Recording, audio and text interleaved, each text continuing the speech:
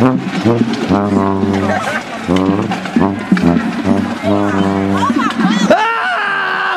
god! oh my god, Stu pulled over his head! Oh god!